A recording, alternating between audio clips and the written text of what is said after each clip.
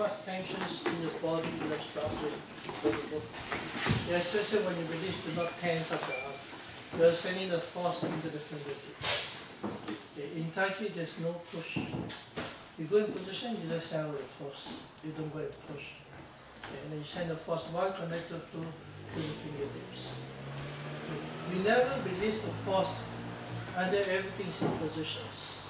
But the class that when you move and change, every part of the body is moving and changing right every part. Only when every in position, then there's a release. Okay. So you notice that when you do the form, when you arrive at the posture, before you move to the next posture, there's always a release before you move to the next position.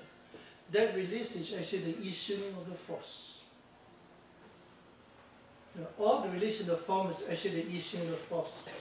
Okay, what it says about the issuing of force is the roots in the feet, the force released through the legs, controlled by the hips and the waist. The direction controlled by your turning, but the force is expressed into the fingertips.